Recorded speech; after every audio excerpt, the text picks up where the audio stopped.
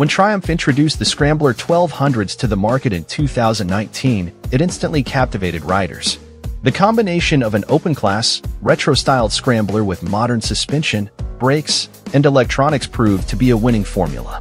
However, the dilemma arose when choosing between the two lineup options, the 1200XC and 1200XE, as their specifications were so closely matched that prospective buyers had to meticulously examine each detail to make the right choice. The challenge was further compounded by differences in seat heights and suspension travel, potentially discouraging those seeking scrambler styling and capabilities in a lower and more accessible chassis. Responding to the feedback of such riders, Triumph has addressed these concerns in its 2024 lineup. The XC model has been replaced by a more entry-level X model, catering to both affordability and rider accessibility. Additionally, the XE model has undergone updates and refinements to the chassis and electronics. The good news is that both models are now available at lower MSRPs compared to their predecessors. After spending two days with both models, we gained a comprehensive understanding of their individual strengths and weaknesses. While we've already published a first ride review on the X model, this overview will highlight the real-world distinctions between the two bikes. Engine One aspect that remains relatively unchanged is the engine powering both models. Both bikes utilize identical versions of Triumph's high-power Bonneville parallel twin with a Scrambler-specific tune. However, Notable updates to the intake system include a new single 50mm throttle body, up from 45mm, and a revised exhaust header to enhance flow. The repositioned catalytic converter, compared to the original 2019 models, addresses heat concerns near the rider's right leg. Claimed power stands at 88.8 horsepower at 7,000 RPM, with peak torque of 81.1 pound, FT, at 4,250 RPM. Triumph asserts that this version, compared to the T120 engine, delivers 12.5% more horsepower and 4% more peak torque. While these increases may not be immediately apparent during the ride, the engine's 270-degree crank provides a satisfying and versatile power delivery, making it equally comfortable on both road and off-road terrains. In urban settings, the engine's flat torque plateau facilitates smooth acceleration from stops, further enhanced by the seamless engagement of the cable-actuated clutch. Venturing onto narrow and winding mountain roads reveals the engine's prowess in effortlessly navigating tight hairpin turns, offering various gear options through the well-performing six-speed transmission. The engine's adaptability allows for both a relaxed cruising pace and spirited corner exits, akin to a nimble and agile cat. While the Bonneville Twin impresses on the road, its off-road capabilities are equally commendable. A noteworthy comparison arises when juxtaposing this stripped-down retro scrambler with Triumph's dedicated adventure bikes. Despite the Tiger 1200 GT Pro boasting nearly 150 horsepower from its three-cylinder engine, there is never a longing for an adventure bike while traversing the California desert alongside six-time AMA motocross slash supercross champion Jeff Stanton on the 1200XE. Fitted with optional Michelin Anakee Wild Knobby tires, the bike excels in sandy washes, effortlessly conquering steep and loose sandy hill climbs in second or third gear. In off-road scenarios, the engine's impressive torque and power take center stage, particularly in its ability to navigate at low speeds through rocks, over erosion ruts, and around desert scrub bushes. While first gear remains an option for sudden stops, second and third gears prove effective for this type of riding. The need for substantial power diminishes in most off-highway explorations, but when the terrain allows for a clear line of sight, the robust 1200 engine excels in devouring desert landscapes and kicking up roost like a champion. Electronics. Considering the abundant torque, both bikes are equipped with a suite of rider aids. Although the electronic systems share many similarities, notable distinctions exist between the two models.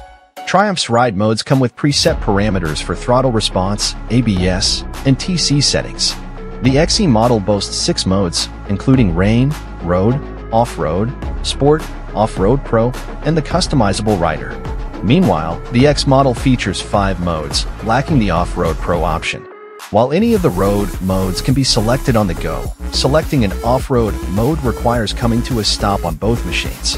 Off-Road Pro on the XE allows riders to swiftly optimize settings for dirt riding, with defaults set to ABS off, rear off, TC off, and the off-road throttle map.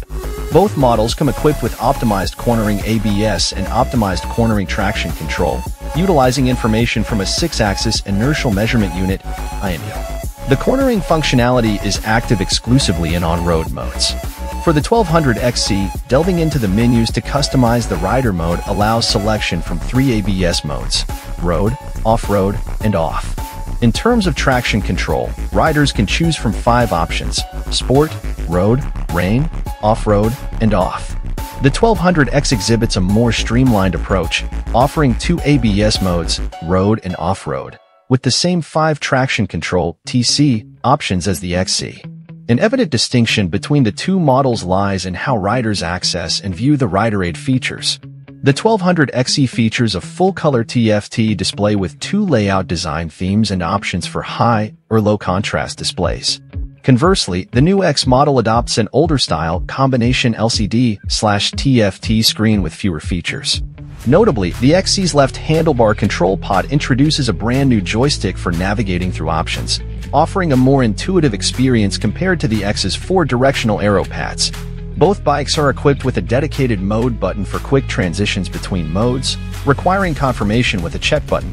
The XE model further enhances user experience with backlit red handlebar buttons for easy recognition in low-light conditions and cruise control functionality, unavailable on the X, controlled by a user-friendly single-button design.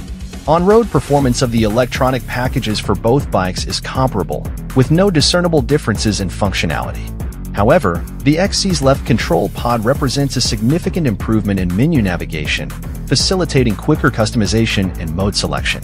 When venturing off-road, the Off-Road Pro mode on the XE surpasses the X model's more basic intervention and control levels, aligning with the XE's superior dirt capabilities.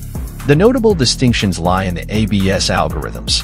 In Off-Road Pro, selecting off in ABS turns off rear intervention completely, leaving a minimal amount active at the front. With the robust Michelin knobbies on the XE, locking the rear wheel for directional changes or controlling the descent on steep, loose hills becomes seamless. Conversely, the X model retains ABS to the rear, with a more aggressive front anti-lock system that hinders quick stops on loose surfaces. An additional advantage of the Off-Road Pro mode on the XE is its responsive power delivery, consistently lively braking, and the ability to lift the front wheel over obstacles with traction control turned off. If you frequently transition between asphalt and dirt, there's little incentive to switch to another mode, unless ABS is specifically needed for a rain-soaked road. We speak from experience. In contrast, managing traction control on the X involves navigating menus to deactivate it, but if you cycle the key, it defaults back to on, requiring a repetitive process. The XE's Off-Road Pro mode, however, keeps these settings locked in, enabling quick entry into the mode with a few button presses, assuring readiness for off-road adventures without the need for extensive menu adjustments.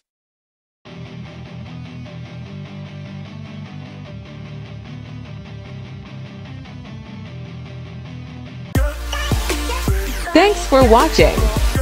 Please like, share and subscribe if you like videos like this. Thank you.